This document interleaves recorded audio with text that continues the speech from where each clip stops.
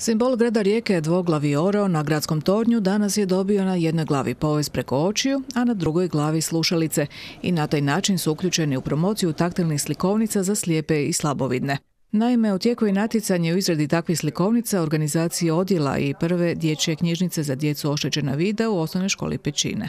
Fundus knjiga je mali i nužno je obogatiti ga novim naslovima. Taktilna slikovnica ima svoja pravila kako se piše i stvara i e, između ostalog evo smo se uključili u jednu veliku organizaciju Tiflo Taktus, tako da je u ovom trenutku akcija gdje mi prikupljamo najljepše hrvatske slikovnice i u našoj školi će stručno povjerenstvo raditi izlučnih pet slikovnica će odabrati koje će slati na svjetsko natjecanje Tiflo Taktus u Briselu ove godine. Adriana Katić, nekadašnja učenica osnovne škole Pećine, rekla nam je o svojim iskustvima korištenju literature za osobe oštećena vida i važnosti taktilnih slikovnica. Za mene su taktilne slikovnice bile vrlo važne kroz, kroz moje odrastanje. E, sa taktilnim slikovnicama lakše sam učila i lakše sam usvajala informacije i puno su mi pomogle u mom školovanju i napredovanju. A prilikom izrade taktilne slikovnice treba paziti na detalje. Da budu slike prepoznatljive, da se može odrediti što, što je na slici, pa eto, takve nekakve, da budu čitljive i svima, i maloj djeci i svakom uzrastu.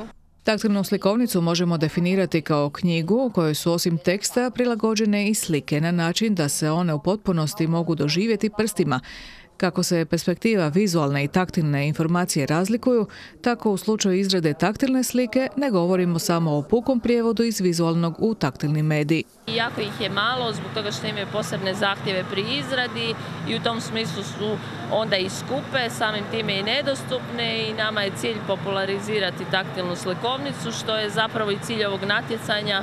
Za sada je prijavljeno 10 taktilnih slikovnica, što je realno veliki broj, no s radošću očekuju nove koje se mogu dostaviti do 15. svibnja. Akcija je i na Korzu. U akciju je uključena i još jedna poznata riječka skulptura, to je skulptura hodača akademika Ivana Kožarića.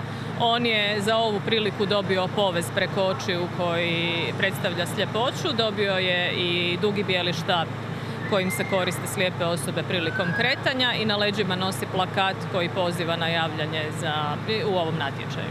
Društvo pokazuje visoku razinu spremnosti i pomoći osobama oštećena vida, no nužna je i edukacija kako to činiti, istaknula je Milković. Danas govorimo o slikovnicama, pa bi najpravilnije bilo držati se smjernica koje možda ne zadovoljavaju neke estetske kriterije u vizualnom smislu, ali su funkcionalne za upotrebu i za taktilno istraživanje.